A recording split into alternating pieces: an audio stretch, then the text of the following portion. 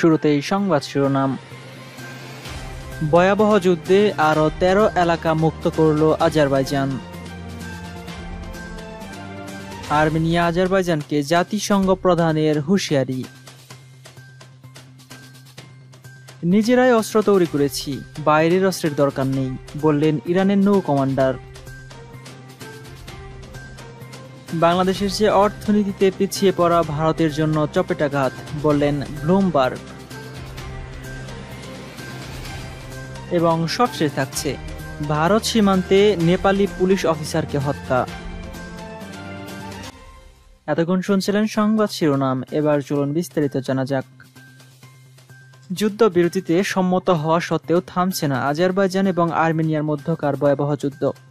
এমন পরিস্থিতিতে আজারবাইজানের সেনারা জাবরাইল জেলার তেরোটিরও বেশি গ্রাম আর্মিয়ার দখল থেকে মুক্ত করেছে বলে জানিয়েছে দেশটির প্রেসিডেন্ট ইলহাম আলিয়েভ। সোমবার টুইসি বার্তায় তিনি জানান, আজারবাইজান জেলার সুলতানিয়া আবেরবালি সহ আরও তেরোটি গ্রাম মুক্ত করেছে আজারবাইজানের সেনাবাহিনী। তিনি আরও উল্লেখ করেন, আজারবাইজানি সশস্ত্র বাহিনী মানবিক যুদ্ধবিরতি ভঙ্গ করে আজারবাইজানের বেসামরিক এলাকা এবং সেনা অবস্থানের উপর হামলা চালিয়েছে। তিনি বলেন, তাদের এই হামলায় কয়েকজনের মৃত্যু এবং আহত হয়েছেন। আজারবাইজানের সেনাবাহিনী পাল্টা জবাব দিয়েছে এবং বেশ কয়েকটি এলাকা মুক্ত করেছে। বিরোধীয় নাগার্নো কারাবাক নিয়ে আর্মেনিয়া এবং আজারবাইজানের মধ্যে তুমুল লড়াই চলছে। এ অঞ্চলে যুদ্ধের ভয়াবহতা বৃদ্ধি পাওয়ায় যুদ্ধবিরতি মানতে দুদেশকে আহ্বান জানিয়েছে জাতিসংঘের মহাসচিব অ্যান্তোরিও গোতরেজ। চলমান লড়াইয়ে বেসামরিক এর ওপর হামলার ঘটনায় তীব্র নিন্দা জানান গুতেরেস শনিবার আজারবাইজানের দ্বিতীয় বৃহত্তম শহর গাঞ্জাই আবাসিক এলাকায় ক্ষেপণাস্ত্র হামলায় শিশুসহ তেরো জন প্রাণ হারানোর প্রসঙ্গে টেনে গুতেরেস এ নিন্দা জানান। জাতিসংঘ মহাসচিবের মুখপাত্রকে উদ্ধৃত করে কাতার ভিত্তিক সংবাদ মাধ্যম আল জাজিরা এসব তথ্য জানিয়েছেন। সাতাশে সেপ্টেম্বর থেকে বিরোধীয় নাগানু কারাবাক নিয়ে আর্মেনিয়া এবং আজারবাইজান নতুন করে যুদ্ধে জড়ায়। পরবর্তীতে দশই অক্টোবর রাশিয়ার মধ্যস্থতায় আর্মেনিয়া এবং আজারবাইজানের মধ্যে ম্যারাথন আলোচনা হয়। এতে উভয় পক্ষ মানবিক কারণে সামরিক যুদ্ধ যুদ্ধবিরতিতে সম্মত হয়। এ যুদ্ধবিরতিতে দুই দেশের মধ্যে যুদ্ধবন্দী সহ অন্যান্য বন্দি বিনিময় এবং মৃতদেহ হস্তান্তরের বিষয়ে উভয় দেশ সম্মত হয়। এগারো অক্টোবর থেকে যুদ্ধবিরতি কার্যকর হওয়ার কথা ছিল। কিন্তু যুদ্ধবিরতির কয়েক মিনিটের মধ্যেই আর্মেনিয়া এবং আজারবাইজান পরস্পরকে সাময়িক যুদ্ধবিরতি লঙ্ঘনের জন্য অভিযুক্ত করে। দ্বিতীয়বারের মতো শনিবার রাত থেকে যুদ্ধবিরতির পরপরই গাঞ্জাতে আর্মেনিয়র ক্ষেপণাস্ত্র হামলায় তেরো জন বেসামরিক লোক নিহত হয়েছেন। এর মধ্যে চারজন নারী এবং তিনজন শিশু রয়েছে। এছাড়া হামলায় অন্তত আহত হয়েছেন পঞ্চাশ জন। কারাবাক অঞ্চলটি আন্তর্জাতিকভাবে আজারবাইজানের ভূখণ্ড হিসেবে স্বীকৃত। তবে ওই অঞ্চলটি জাতিগত আর্মেনীয়রা উনিশশো এর দশক থেকে নিয়ন্ত্রণ করছে। ওই দশকেই আর্মেনিয়া এবং আজারবাইজানের সঙ্গে যুদ্ধে তিরিশ হাজারেরও বেশি মানুষ নিহত হন। ইসলামপন্থী প্রজাতন্ত্র ইরানের নৌবাহিনী নৌ ইউনিটের কমান্ডারের রিয়ার অ্যাডমিরাল হুসাইনি খানজাদি বলেছেন ইরানের নৌবাহিনী শক্তি এবং সামর্থ্যের দিক থেকে এমন পর্যায়ে পৌঁছেছে যে অন্য কারও কাছ থেকে অস্ত্র কেনার কোনো প্রয়োজন নেই। জাতিসংঘের অস্ত্র নিষেধাজ্ঞা উঠে যাওয়ার পর এখন নৌবাহিনী কী ধরনের অস্ত্র কিনবে এমন এক প্রশ্নের জবাবে তিনি একথা বলেন। তিনি আরও বলেন, অস্ত্র নিষেধাজ্ঞাকে নৌবাহিনীর তামাশা বলে মনে করে।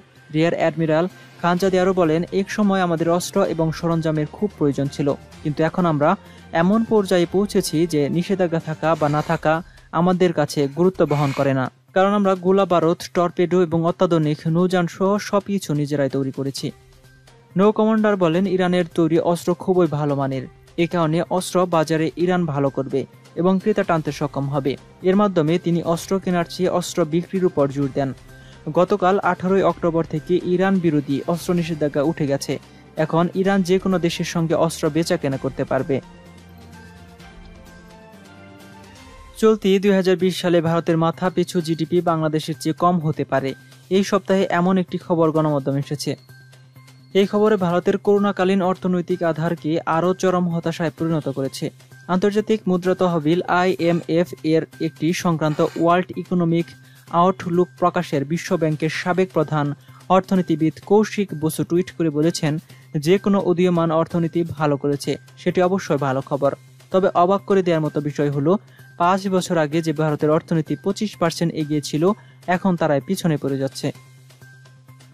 সেই উনিশশো নব্বই এর দশক থেকেই ভারতের স্বপ্ন চীনের দ্রুত সম্প্রসারণকে অনুসরণ করা। তিন দশক ধরে এই অভিযান চালিয়ে যাওয়ার পর বাংলাদেশের পিছনে ছিটকে পড়ার ঘটনা নিশ্চয় ভারতের বৈশ্বিক ভাবমূর্তিতে একটি চপেটাঘাত। পশ্চিমা বিশ্ব চীনের বিপক্ষে একটি অর্থবহ কাউন্টার ওয়েট চাই।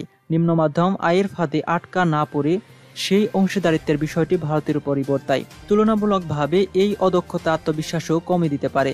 যদি একটি বৃহৎ শক্তিশালী এবং উচ্চকাঙ্ক্ষী রাষ্ট্র তার নিজের ছোট্ট একটি প্রতিবেশী যাদেরকে উনিশশো একাত্তর সালে পাকিস্তানের বিপক্ষে যুদ্ধে সহায়তা করে স্বাধীন করেছে, তাদের পিছনে পড়ে যায়। এতে দক্ষিণ এশিয়ায় এবং ভারত মহাসাগর অঞ্চলে তাদের প্রভাব হ্রাস পেতে পারে।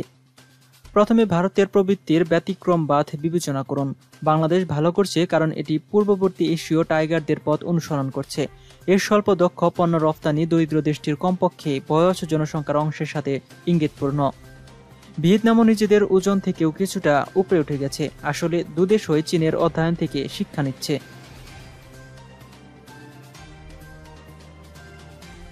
নেপালের কৌলালী জেলার নেপালের ভারত সীমান্তের কাছ থেকে দায়িত্বরত এক নেপালি পুলিশ অফিসারের লাশ উদ্ধার করা হয়েছে।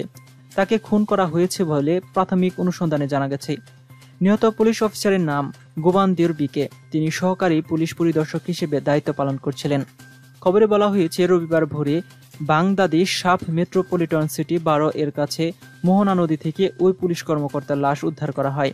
এছাড়াও রাম বাহাদুর সোয়াথ নামের এক পুলিশের কনস্টেবলকেও খুঁজে পাওয়া যাচ্ছে না। তাদের দুজনে শনিবার রাতে সাড়ে আটটার দিকে মোটর সাইকেলে করে দাঙ্গাদি বারো অস্থায়ী পুলিশ স্টেশন থেকে টহল দিতে বের হন। নদী থেকে তিন কিলোমিটার দূরে মোটর সাইকেলটি পাওয়া যায়। শনিবার রাত দশটা থেকে দুই পুলিশ সদস্যের সঙ্গে যোগাযোগ বিচ্ছিন্ন হয়ে যায়।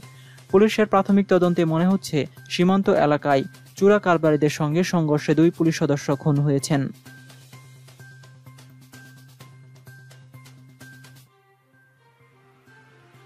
আজকের মতো এই পর্যন্তই ছিল। ভিডিওটি সম্পর্কে আপনার মতামত অবশ্যই কমেন্ট বক্সে কমেন্ট করে জানাবেন। বিশ্বের সর্বশেষ নিউজ পেতে আমাদের চ্যানেলটি সাবস্ক্রাইব করে পাশে থাকা বেল আইকনটিতে ক্লিক করে রাখুন। এতক্ষণ সাথে থাকার জন্য ধন্যবাদ সবাইকে।